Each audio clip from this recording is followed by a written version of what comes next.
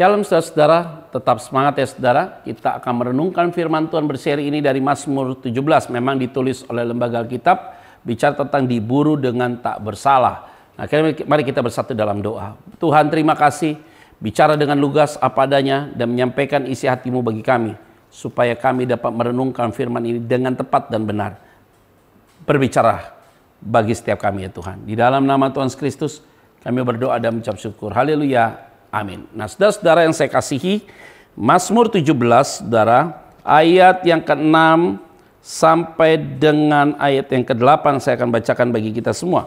Aku berseru kepadamu karena engkau menjawab aku ya Tuhan, ya Allah. Sedangkanlah telingamu kepadaku, dengarkanlah perkataanku, tunjukkanlah kasih setiamu yang ajaib, yang engkau yang menyelamatkan orang-orang yang berlindung kepada tangan kananmu terhadap pemberontak Peliharalah aku seperti biji mata, sembunyikanlah aku dalam naungan sayapmu. Jadi pemazmur ini doa Daud ya saudara, selalu mengungkapkan tentang aku ini adalah biji matamu.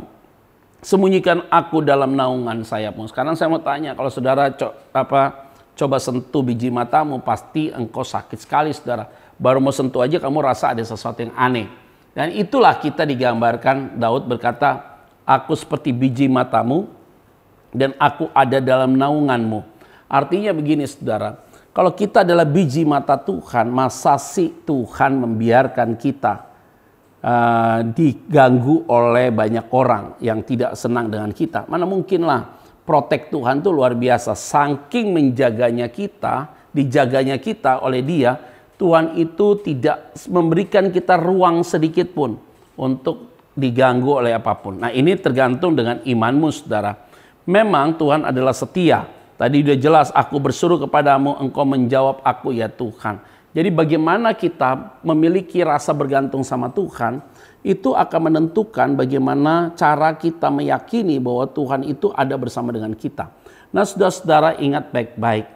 Engkau tidak akan pernah hanyut dalam sebuah kesalahan karena Tuhan pasti ingatkan saudara, engkau biji matanya Tuhan. Engkau tidak akan pernah sedikit pun terlepas dari pandangannya Tuhan. Karena engkau menjadi bagian dalam hidup dirinya Tuhan. Nah ini kalau yang saya mau sampaikan dengan poin ini saudara bahwa ada apa pun dalam hidupmu yang sedang engkau alami hari-hari ini. Mungkin engkau terinfeksi COVID-19, engkau sedang mengalami sakit yang lain. Engkau merasa bahwa kamu ditinggal sendiri dan tidak ada satu orang pun yang menolong engkau. Hari ini saya mau ingatkan, engkau biji matanya Tuhan. Dia akan menaungi engkau. Akan ada pembebasan daripada Tuhan. Ingat baik-baik, jangan menjadi orang yang mau diintimidasi dengan peristiwa yang terjadi hari-hari ini. Lepaskan rasa takut itu dan yakinkan bahwa Tuhan ada bersama dengan saudara. Mari kita bersatu dalam doa. Terima kasih untuk firman-Mu Tuhan. Kami belajar Tuhan. Meyakini dengan teguh. Karena kami adalah biji matanya Tuhan. Tuhan yang menjaga kami.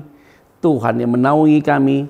Tuhan yang tidak pernah meninggalkan kami. Berkati umat-Mu ya Tuhan. Dalam nama Tuhan Kristus kami berdoa dan mengucap syukur. Haleluya. Amin. Saudara ingat. Jaga kesehatanmu. Tetap tersenyum. Semangat selalu. Tuhan pasti memberkati saudara sekalian. God bless you.